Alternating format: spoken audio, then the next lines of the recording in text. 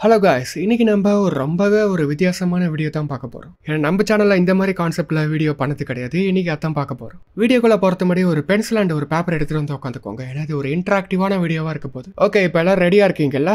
வீடியோவோட கான்செப்ட் என்னன்னா எந்த ஸ்பைடர்மேன் பெஸ்ட்டுன்னு தான் நம்ம மார்க் போட்டு பார்க்க போகிறோம் அது சும்மா பத்தொன்பதுவா இல்லாமல் எல்லா டீட்டெயில்ஸையும் தனித்தனியாக பார்த்து அதுக்கேற்றது போல மார்க் போட்டு லாஸ்ட்டாக யார் அதிக மார்க்ஸ் வாங்கியிருக்காங்களோ அவங்கள தான் நம்ம பெஸ்ட்னு சொல்ல போகிறோம் இதில் நம்ம முழுக்க முழுக்க லைவ் ஆக்ஷன் ஸ்பைடர்மேன்ஸ் மட்டும் தான் எடுக்க போகிறோம் ஸோ அந்த வகையில் மூணு பேர் இருக்காங்க. Tobey Maguire Andrew Garfield Tom Holland Spidermans okay இனிமேல் நம்ம அப்படியே ஒவ்வொரு கேட்டகரியாக பார்த்துட்டு மார்க் போட ஆரம்பிச்சிடலாம். ஃபர்ஸ்ட் ஸ்ட்ரென்த் யாருக்கு பலம் அதிகம்? ஸ்ட்ரென்த் வைஸ் டோபி மேக்கோவர் ஸ்பைடர்மேன்ல ஏகப்பட்ட விஷயங்கள் சொல்லலாம். பார்ட் ஒன்ல ட்ரோம் கார் அந்த ரோப் கார் அப்படியே ஒத்த கையில பிடிச்சிட்டு இருப்பாரு. பார்ட் டூல நம்ம எல்லாத்துக்கும் ஃபேவரட்டான சீன் அந்த ட்ரெயின் சீன் அதிவேகமா பிரேக் இல்லாம அந்த ட்ரெயினை ஸ்டாப் பண்ணிடுவார். பார்ட் த்ரீல சாண்ட்மேன் பிரம்மாண்டமா இவர் அடி அடி நடிப்பாரு அதையும் தாக்கு பிடிச்சிருவாரு. இது தவிர இன்னும் நிறைய சீன்ஸ் இருக்கு பட் மெயின் இந்த மூணு சீன்ஸ்ல இவருடைய பலத்தை நம்ம பார்க்கலாம். அடுத்து ஆண்ட்ரி கார்ஃபீல்டு ஸ்பைடர்மேனை பார்த்தா அவ்வளோக்கா இந்த ஸ்பைடர்மேனில் ஸ்ட்ரென்த் வைஸாக எதுவும் காட்ட மாட்டாங்க. எனக்கு தெரிஞ்சு பார்ட் டூவில் எலக்ட்ரோ கூட ஸ்டார்டிங் ஃபைட்டில் அந்த ஜீப்பை தாங்க பிடிக்கிற மாதிரி ஒரு சீன் இருக்கும். அண்ட் பார்ட் ஒன்லி பிரிட்ஜ் சீனில் கார்லாம் விழும்போது அதை காப்பாற்றுற மாதிரி காமிச்சிருப்பாங்க. வேற எதுவும் காமிச்சிருக்க மாட்டாங்க. அப்படியே டாம் ஹாலாண்டு பக்கம் வந்தால் டாம் ஹாலாண்டுக்கு ஏகப்பட்ட சீன்ஸ் இருக்கு ஸ்ட்ரென்த் வைஸ் இந்த ஸ்பைடர்மேனை சிவில் வாரில் இன்ட்ரா கொடுக்கும்போது பக்கியுடைய மெட்டல் கையை அசால்ட்டுக்கு பிடிக்கிற மாதிரி காமிச்சிருப்பாங்க. அவ்வளோ பெரிய கண்டெய்னரையும் தாங்கி பிடிப்பாரு. அண்ட் அதே படத்தில் டோனி ஸ்டார்க் ஒரு வீடியோ காட்டுவார். அதில் வேகமாக அந்த காரை கப்புன்னு பிடிச்சிருவார். அடுத்த படம் ஹோம் கம்மிங்ல ஸ்ட்ரென்த் வைஸ் சூப்பராக காமிச்சிருப்பாங்க. நல்லா கடினமா இருக்கிற புல்லட் ப்ரூஃப் கிளாஸையும் உடவுடன் உடச்சிருவாரு. இவர் ஃப்ரெண்ட்ஸ் விழுந்துட்டு இருந்த லிஃப்டையும் ஈஸியா பிடிச்சிருவாரு. அண்ட் கிளைமேக்ஸ்ல சீலிங்கே இவர் மேல விழுந்துரு இடிஞ்சு அப்பயும் இவர் எந்திரிச்சு வந்துருவாரு. ஸோ லாஸ்டா ஸ்ட்ரென்த் வயசு டோபி மேக்கர் ஸ்பைடர்மேனுக்கு டாம் ஹாலாண்டுக்கு ஒவ்வொரு மார்க் நான் தரேன். உங்களுக்கு யாருக்கு மார்க் தரணும்னு தோணுதோ நீங்க செப்பரேட்டா நோட் பண்ணிக்கோங்க. அடுத்து நம்ம பார்க்க போகிறது ஸ்பீட் டோபி வேகமானவரா? அதுக்கு ஆன்சர் பட வயசு பார்த்தா கிடையாது. ஏன்னா எந்த ஃபைட்லேயும் இவரோட வேகத்தை டெஸ்ட் பண்ணுற மாதிரி அவ்வளோக்கா எதுவும் காமிச்சிருக்க மாட்டாங்க. பட் அப்படியே ஆண்ட்ரி ஸ்பைடர்மேன் கிட்ட வந்தால் என்னை பொறுத்த வரைக்கும் எல்லாத்தோட அவர் தான் ஃபாஸ்ட்டாக இருந்தார். ஏன்னா அமேசிங் ஸ்பைடர்மேன் டூவில் எலக்ட்ரோ கூட சண்டை போட்டார்ல அந்த படத்தில் எலக்ட்ரோவோட எலக்ட்ரிசிட்டிலாம் எதுவுமே மேலே படாத மாதிரி தப்பிச்சிருப்பார். அண்ட் ஓவராலாவே இந்த ஸ்பைடர்மேனை துரு துருன்னு வேகமாக இருக்கிற மாதிரி தான் டிசைன் பண்ணியிருப்பாங்க டாம் ஹாலண்டு ஃபாஸ்ட் தான் ட்ரோன் கிட்ட இருந்தாலும் வேகமாக தவிப்பார் பட் ஆண்ட்ரி அளவுக்கு இல்லைன்னு தான் சொல்லணும். ஸோ ஸ்பீடை பொறுத்த வரைக்கும் என் மார்க் ஆண்ட்ரி கார்ஃபீல்டுக்கு. அடுத்து ஸ்பைடர் சென்ஸ் யாருக்கு சக்தி வாய்ந்தது? டோபியுடைய ஸ்பைடர் சென்ஸ் எப்படி வேலை செய்யணும் வில்லன்கள் வரப்போகிறதே இவருக்கு முன்னாடியே தெரியுற மாதிரி காமிச்சிருப்பாங்க. அண்ட் யாராச்சும் இவரை தாக்க வந்தாலே இவருக்கு தெரியும் ஸோ அந்த மாதிரி தான் இவரோட ஸ்பைடர் சென்ஸ் வேலை செய்யும். ஆண்ட்ரியோடதும் கிட்டத்தட்ட அப்படி தான் ஆனால் ஆண்ட்ரியோடது ஒரு படி மேலனே சொல்லலாம். ஏன்னா இவர் தூங்கிட்டு இருக்கும்போது கூட ஸ்பைடர் சென்ஸ் வேலை செய்கிற மாதிரி காமிச்சிருப்பாங்க. அண்ட் எலக்ட்ரோ ஃபைட்டில் இவரோட ஒரு வெப்ஷூட்டர் டேமேஜ் ஆயிடும். இன்னொரு வெப்ஷூட்டரை வச்சு ரெண்டு பேர்த்த காப்பாற்றுவார் அந்த சீனியே ஸ்லோ மோஷனில் தான் காட்டுவாங்க. ஸோ எந்த வேகத்தில் அவரோட ஸ்பைடர் சென்ஸ் வேலை செஞ்சிருந்தா அந்த வேகத்தில் காப்பாற்றிருப்பார் இப்படி ஆண்ட்ரி கார்ஃபீல்டுக்கு வேகமான ஸ்பைடர் சென்ஸ்னா டாம் ஹாலாண்டுக்கு சக்தி வாய்ந்த ஸ்பைடர் சென்ஸ் இருக்கு. இவர் படத்தில் இதை வித்தியாசமாக பீட்டர் டிங்கிள்னு சொல்லுவாங்க. பீட்டர் டிங்கிளை பயன்படுத்தி ஃபார் ஃப்ரம் ஹோம்ல கண்ணை மூடிட்டு மறைஞ்சிருந்த ட்ரோன்ஸ்லாம் அடிச்சு நொறுக்குவார். அப்படியே மறைஞ்சிருந்து ஷூட் பண்ண வந்த மிஸ்டீரியாவும் கண்டுபிடிச்சிருவார். இன்ஃபினிட்டி வாரில் கூட பாம்பு கரெக்டாக உருண்டு வரதை கண்டுபிடிச்சிருவாரு.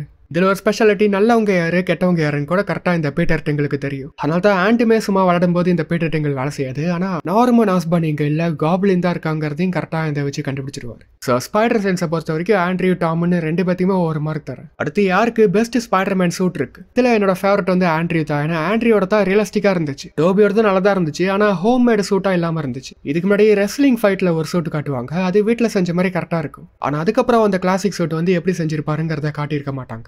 இதே போலவே டாம் ஹாலண்டுக்கு மூணு சூட் இருக்கும். ஒன்று வந்து ரியலிஸ்டிக்கான பழைய சூட் மிச்சம் ரெண்டு வந்து டோனி ஸ்டார் கொடுத்தது. ஒன்று வந்து நார்மல் சூட் இன்னொன்று அயன் ஸ்பைடர் சூட் அந்த ரெண்டு சூட்டுமே சிஜிஐ தான் பண்ணுது. ஸோ சிஜிஐனா எப்படி வேணா காட்டலாம்ல. ஸோ அதனால தான் இந்த ரெண்டு சூட்ஸை நான் கணக்கில் எடுக்கல. போனஸா நோவே ஹோமில் பீட்டரே கடைசியாக ஒரு சூட் தக்கிற மாதிரி காமிச்சிருப்பாங்க. அந்த சூட்டு சூப்பராக இருக்கும். இருந்தாலும் அந்த சூட்டை முழுசாக காட்டல. இனி வரும் படங்களில் தான் காட்டுவாங்க. அதனால ஆண்ட்ரிக்கு நான் மார்க் தரேன் ஏன்னா ஆண்ட்ரியோட சூட் வந்து ஸ்பாண்டக்ஸ் ஆர்டர் பண்ணி செஞ்சது. அது மட்டும் இல்லாமல் மாஸ்க் எப்படி செய்யணுங்கிறதுக்கான ஐடியா எப்படி வந்துச்சுங்கிற முதற்கொண்டு எல்லாமே காமிச்சிருப்பாங்க. அடுத்து யார் பெஸ்ட் பீட்டர் பார்க்கர் இது நான் ஃபுல் அண்ட் ஃபுல் டோபி தான் சொல்கிறேன் எனக்கு ஆண்ட்ரியுடைய பீட்டர் பார்க்கற வெரைட்டியாக காமிச்சிருந்தாலும் டாமுடைய பீட்டர் பார்க்கரையும் வெகுலியான ஒரு சின்ன பையனாக காமிச்சிருந்தாலும் எனக்கு பிடிச்ச பீட்டர் பார்க்கர் வந்து டோபி தான். ஏன்னா ஸ்பைடர் மேனுங்கிறது ஹீரோயிக் சைடு ஆனால் பீட்டர் பார்க்கருங்கிறது அதெல்லாம் இல்லாத ஒரு இன்னசென்ஸான ஒரு சைடு அந்த இன்னசென்ஸ் கூடயே எமோஷன்ஸ் கலந்த அந்த கதையை தாங்கி பிடிக்கிற கேரக்டரா அப்பப்போ ஃபன்னியான கேரக்டராகவும் ஒரு பெஸ்ட்டான பீட்டர் பார்க்கறா இருந்தது டோபி தான். ஸோ டோபிக்கு நான் மார்க் தரேன். அடுத்து பெஸ்ட் வெப் ஷூட்டர்ஸ் இதில் டோபிக்கு வந்து ஆர்கானிக்காக இருக்கும். உடம்புக்குள்ள வந்து வெப் வரும் மிச்சம் ரெண்டு பேர் வந்து டெக்கை பயன்படுத்துவாங்க. இதில் யாரோடது நல்லா இருக்குன்னு கேட்கும்போது நான் டோபிக்கு தான் சொல்ல வரேன் நினைப்பீங்க but I am going with Andrew என்னதான் சினிமாவாக இருந்தாலும் ஆண்ட்ரியோட வெப்ஷூட்டருக்கு இவங்க கொடுத்த டீடைல் வந்து பக்காவாக இருக்கும். அதை வாட்சை வச்சு உருவாக்குற மாதிரி காமிச்சிருப்பாங்க. அதில் யூஸ் பண்ணுற வெப் கூட ஆஸ்கார்ப்பில் இருந்த ஒரு கேபிள் தான். அந்த கேபிள் கூட பீட்டர் பார்க்கருடைய அப்பா ரிச்சர்ட் பார்க்கர் உருவாக்கின டிஎன்ஏ மாற்றி அமைக்கப்பட்ட ஸ்பைடர்ஸ்லேருந்து எடுத்த வெப்லேருந்து செய்யப்பட்ட கேபிள் தான். எவ்வளோயா அந்த வெப் ஷூட்டரை பச்சை பச்சைன்னு அழுத்தும் போது லைட் எறிகிற மாதிரி கூட காமிச்சிருப்பாங்க. எல்ட்ரா கூட சண்டை போடும்போது வெப் ஷூட்டர் டேமேஜ் ஆகும் உடனே காயில் வச்சு அதை எல்ட்ரா மேகட்டாக மாற்றி தடுக்கிற மாதிரியும் கரெக்டாக காமிச்சிருப்பாங்க. நோவே ஹோமில் கூட வெப் தீந்து போச்சுன்னா நான் மறுபடியும் லேபுக்கு போய் ப்ரிப்பேர் பண்ணிட்டு வரணும்னு சொல்லியிருப்பாரு.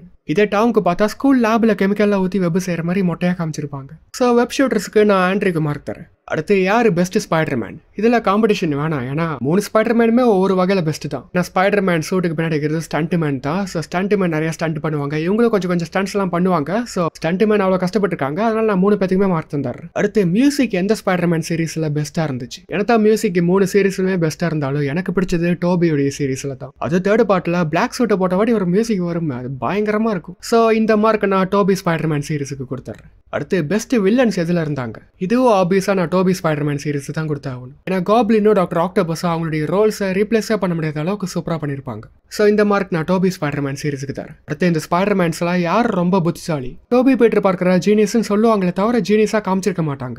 செகண்ட் பார்ட்டில் மட்டும் டாக்டர் ஆக்டோ ஆட்டோவேஸ் கிட்ட நீங்கள் உருவாக்குற இந்த சூரிய சக்தியை கட்டுப்படுத்த முடியாது ஒர்க் அவுட் ஆகுதுங்கிற மாதிரி சொல்லியிருப்பாரு. ஸோ அந்த இடத்துல மட்டும் தான் பீட்டர் பார்க்கர் ஜீனியஸுங்கிறத காமிச்சிருப்பாங்க. மறுபடியும் நோவே ஹோமில் காப்ளினுக்கு மாற்று மருந்து உருவாக்குறேன்னு சொல்லுவார் பட் அதில் ஒரு லாஜிக்கே இல்லாமல் தான் இருக்கும் அந்த சீன் ஆண்ட்ரி ஸ்பைடர் மேலேயே அவர் ஜீனியஸாக இருக்கிற மாதிரி அவ்வளோக்கா காமிச்சிருக்க மாட்டாங்க. டாக்டர் கார்னஸ் கிட்ட கொடுக்குற அந்த டிகே ரேட் அல்கருத்தம் கூட இவர் உருவாக்கினதான் சொல்லி இவர் அப்பா உருவாக்கின அந்த ஃபார்முலாவை தான் கொடுப்பாரு. செகண்ட் பார்ட்டில் கூட எலக்ட்ராவோட தாக்குதலேருந்து வெப்ஷூட்டரை பாதுகாக்கிறதுக்கு வெப்ஷூட்டர் மேலே காயில் வச்சிடலாம் அது எலக்ட்ரிசிட்டி படிச்சுன்னா காயில் எலக்ட்ரோ மேனட்டாக மாறிடுன்னு குவெனிதா ஐடியா தருவா. ஒரே ஒரு சீனில் டாக்டர் கார்னஸ் எந்த உயிரினத்தால தன்னோட செல்களை புதுப்பிக்க முடியும்னு கேட்டதுக்கு ஜீப்ரா ஃபிஷ்னு கரெக்டாக ஆன்சர் சொல்லுவார். ஸோ இது அப்புறம் வெப்ஷூட்டரை உருவாக்குற சீன் தவிர வேற எந்த சீன்லையும் ஜீனியஸ் லெவலில் காமிச்சிருக்க மாட்டாங்க. இதே டாமை பார்த்தா டாம் ஆரம்பத்துலேருந்தே ஜீனியஸாக தான் காட்டுவாங்க. கிடைச்ச பொருட்களை வச்சு அவரே கம்ப்யூட்டரை உருவாக்கினதா சொல்லுவார். இவரோட வெப்ஃப்ளோட இவரே உருவாக்குவார். அப்புறம் முக்கியமாக ஜாமண்ட்ரியை பயன்படுத்தியே டாக்டர் ஸ்ட்ரேஞ்சை தோக்கடிச்சிருப்பாரு. ஸோ இந்த மார்க்கை நான் டாம் ஹாலாண்ட் ஸ்பைடர் மேனை கொடுத்துறேன் அடுத்து யாருக்கு பெஸ்ட் ஆரிஜின் ஸ்டோரி இருந்துச்சு? டோபிக்கு ஒரு எக்ஸிபிஷனில் ரேடியோ ஆக்டிவ் ஸ்பைடர் கிடச்சி அதுலேருந்து பவர் வர மாதிரி காமிச்சிருப்பாங்க. டாமுக்கு அதுதான் ஸ்பைடர் கிடச்சி தான் ஆனால் அது எப்படிலாம் காமிச்சிருக்கவே மாட்டாங்க. இது ஆண்ட்ரிக்கு வந்து ஆண்ட்ரிக்கு பெஸ்ட்டான ஒரு ஆரிஜின் ஸ்டோரி கொடுத்துருப்பாங்க. ஏன்னா ஆண்ட்ரி பீட்டர் பார்க்கருடைய அப்பா ரிச்சர்ட் பார்க்கர் அவருடைய டிஎன்ஏ வச்சு ஸ்பைடரோட டிஎன்ஏவை மாற்றிருப்பாரு அப்படி டிஎன்ஏ மாற்றப்பட்ட ஸ்பைடர் கிடைச்சதுனால தான் இவருக்கு ஸ்பைடர் சக்திலாம் கிடைச்சிச்சு. ஸோ பீட்டருக்கு பவர் கொடுத்த இந்த விஷயம் மற்றவங்களுக்கு விஷயமா தான் இருக்கும். இதுதான் பார்ட் டூல காப்ளினுக்கு என்னாச்சுன்னு காமிச்சிருப்பாங்க. ஸோ இவரோட அப்பாவோட டிஎன்ஏ உருமாற்றம் செய்யப்பட்ட ஸ்பைடர் இவருக்கு கிடைச்சதுனால தான் இவருக்கு பவர் கிடைச்சிச்சுன்னு லாஜிக்கோட கரெக்டாக சொன்னதுனால நான் ஆண்ட்ரி ஸ்பைடர்மேனுக்கு மார்க் தரேன். அடுத்து நம்ம ஓவரால் ஸ்டோரி வைஸும் பார்க்கணும். ஸ்டோரி வைஸ் பார்த்தா ஆண்ட்ரி ஸ்பைடர்மேன் சீரிஸ் ஊத்துனது காரணமே ஸ்டோரி வைஸ் அது கரெக்டாக இல்லைன்னு தான். அமேசிங் ஸ்பைடர்மேன் பார்ட் ஒன் வேற லெவலில் மாஸ்டர் பீஸாக இருக்கும். பட் அப்படி ஸ்டார்ட் ஆன சீரிஸாக இவங்க செகண்ட் பார்ட்டில் சொதப்பிட்டாங்க. ஸோ இதில் கம்பேரிட்டிவாக பார்க்கும்போது டோபியோடதும் டாமோடதும் நல்லா இருந்துச்சு. ஏன்னா நோவே ஹோமில் சில பல லாஜிக் ஓட்டைகள்லாம் இருந்தாலும் கான்செப்ட் வைஸ் அது ஓகேவாக தான் இருந்துச்சு. அண்ட் செகண்ட் பார்ட் வேற லெவலில் இருக்கும் ஃபார் ஃப்ரம் ஹோம் ஹோம் கம்மிங்கும் நல்லா தான் இருந்துச்சு. அண்ட் டோபியோடதுல மூணுமே சூப்பராக தான் இருந்துச்சு. First part super second part master பீஸாக இருந்துச்சு. தேர்ட் பார்ட்டும் நல்லா தான் இருந்துச்சு. பட் சில பேருக்கு பிடிக்கலன்னு சொல்கிறாங்க பட் எனக்கு அது பிடிச்சிருந்துச்சு. So story wise Tobey Tom ரெண்டு ஸ்பைடர் மேனுக்குமே மார்க் தந்தார். கடைசியாக யார் பெஸ்ட் கப்பிள்ஸ் இதில் நான் இவங்க மூணு பேத்துக்குமே மார்க் தந்துடுறேன் ஏன்னா இந்த மூணு சீரீஸ்லையுமே இந்த லவ் போர்ஷன் இல்லாமல் கதை இருக்காது. ஏன்னா யோசிச்சு பாருங்களேன் இப்போ டோபி ஸ்பைடர்மேன் எடுத்தா எம்ஜேவோட லவ்ல தான் எல்லாமே ஆரம்பிச்சிருக்கு. ஸ்பைடர் கடிச்சு அப்புறம் எம்ஜேவை இம்ப்ரெஸ் பண்றதுக்கு கார் வாங்கணும்னு ரெஸ்லிங்ல சண்டை போட்டு அதுக்கப்புறம் அங்கிள் செத்து இப்படியே சொல்லிட்டே போலாம். தேர்ட் பார்ட்டுடைய கடைசி கிளைமேக்ஸ் வரைக்குமே இது ஒரு லவ் ஸ்டோரியா தான் போகும். சாம் ரைமி ஸ்பைடர்மேன் சீரிஸுங்கிறதே ஒரு பிரம்மாண்டமான லவ் ஸ்டோரி போல தான் ஆண்ட்ரியோடதும் அதே போல தான் ஆரம்பிச்சது குவென்கிட்ட இருந்து ஆரம்பிக்கும். முடியறது குவென்னோட சாவில் தான் முடியும். அண்ட் அப்போ அவங்க ஆஃப் ஸ்க்ரீன்லேயும் லவர்ஸாக தான் இருந்தாங்க. அதுக்கப்புறம் தான் பிரேக்கப் பண்ணாங்க. ஸோ நல்லா கதையிலையும் கனெக்ட் ஆனிச்சது இதே போல் தான் டாம் ஹாலண்டும் ஃபர்ஸ்ட் பார்ட்டில் வேற ஒரு கேர்ள் ஃப்ரெண்டை காட்டுவாங்க. அவருடைய அப்பா தான் வில்லனாக வருவார். செகண்ட் பார்ட்டில் ஒரு ஜாலியான லவ் ட்ரிப்பு போன மாதிரி இருக்கும். தேர்ட் பார்ட்டில் பீட்டர் பார்க்கரையே மறக்கிற மாதிரி சாகமாக காமிச்சிருப்பாங்க. ஸோ இதனால் மூணு பேத்துக்குமே நான் மார்க் கொடுத்துட்றேன் இதில். இப்போ கடைசியாக நான் போட்ட எல்லா மார்க்ஸையும் ஆட் பண்ணி பார்த்தா டோபிக்கு கிடைச்ச மார்க் செவன் ஆண்ட்ரிக்கு கிடைச்ச மார்க் செவன் டாமுக்கு கிடைச்ச மார்க் சிக்ஸ் இப்போ டோபிக்கு ஆண்ட்ரிக்கும் டைலருக்கு. டோபி எல்லாத்தையுமே பிடிக்கும். அவர் ஆல் டைம் ஃபேவரட் ஆண்ட்ரிவை எனக்கு பர்சனலாக பிடிக்கும். அதனால நான் இவங்க ரெண்டு பேத்தையும் டைலே அப்படியே வச்சிடறேன். நீங்கள் எவ்வளோ மார்க் போட்டீங்க? உங்கள் மார்க்கிங்கில் யார் ஜெயிச்சாங்கிறத கமெண்ட்டில் சொல்லுங்கள் அதான் எனக்கு ஆர்வம் அதிகமாக இருக்குது.